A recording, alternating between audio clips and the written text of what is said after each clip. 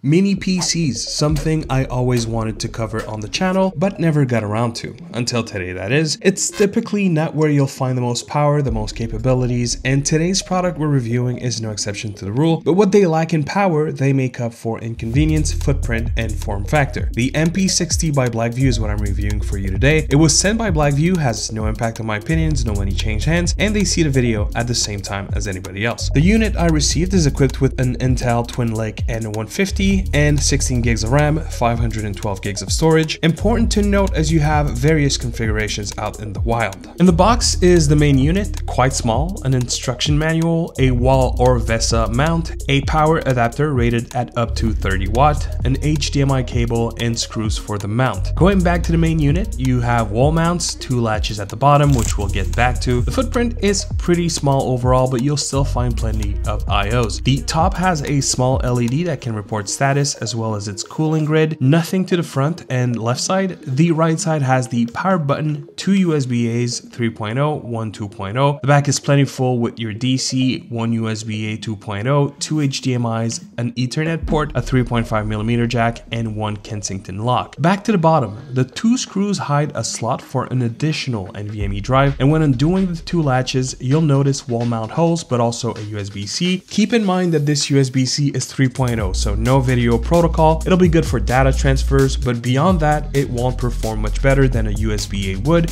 which is probably my first con with this. At least one full-featured USB-C port would have greatly expanded the potential of this mini PC, but I digress, let's carry on. As I plug this in and set up Windows on it, allow me to put a more detailed spec sheet on screen to allow you to pause and confirm any details you may need such as weight, dimensions, etc. As for the setup, we're running Windows 11, no complications there.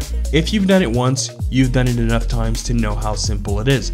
Once in the OS, all is very familiar, nothing unusual here. So really this is anything you'd want it to. A media player, a light demanding workstation, a 1080p or less light editing solution. I specify 1080p because while the ports will support 4K up to 60 FPS, editing 4K files may be too demanding a task depending on how heavy your editing is. And as is something you'd probably be able to do efficiently too, again as long as you don't have too much encoding and decoding of 4K high bitrate files. These are some of the inspiration that this could be used for, but as a gaming tech channel, I jumped straight into emulation. For a light emulation solution, you're pretty much covered up to PS2 and GameCube and other systems of similar power requirements. Now, when talking PS2 and GameCube specifically, your mileage may vary. Some games you might run really well, some games you might not be able to run at decent FPS.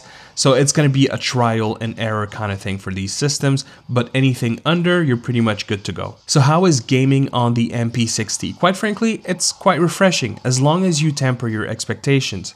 The device is super silent. You really don't hear it at all. And in terms of ports, for the most use case, you'll have more than enough with a keyboard, a mouse, and a game controller. Some light indie PC titles could run well, lighter emulation as well. To circle back to the con I mentioned earlier, the CPU can hold up decently well. If we have had a full spec USB-C, we could have introduced eGPU capabilities for more beefy requirements to be met, but as this is not possible, you can only go so far with your gaming. For example, I tried running Ori and the Will of the Wisps, and loading was chugging, so was the game. Ori is far from being a demanding PC game, but it's got 3D elements in there, making it a nice benchmark as to what to expect. But if using a Kinhank drive, which I dropped on the floor since filming this, sad I know, and yes, it's dead, it can make for a nice system to put in a smaller arcade cabinet or attach behind a TV or a monitor for a self-contained emulation solution with extended capabilities, and I think that's where the MP60 can make the most sense.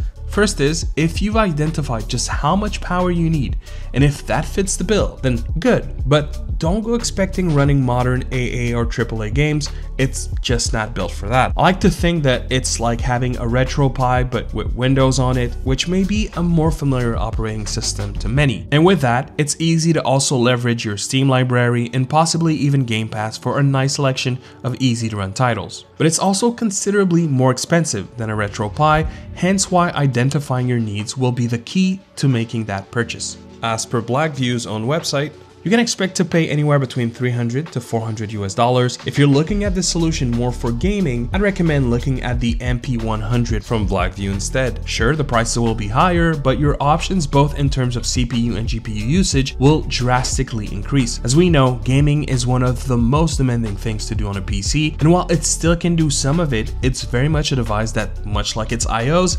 connectivity, and much else, feels like it's from an era of home computing that is behind us. And make no mistakes, it is for modern gaming applications, so you'll much be better served with the AMD 5700U or better, but at the same time, if you're just trying to run Moonlight, Steam Link, or PS Remote Play in the living room to tap into your PC downstairs, you also won't need the 5700U. I hope this review helped you identify if the MP60 is for you or if you should keep searching. Thanks to Blackview for sending the MP60. Thank you for clicking on the video. Consider hitting the like if you enjoyed the content and to subscribe to not miss any future ones. I'm Klef. Thanks for watching. Peace.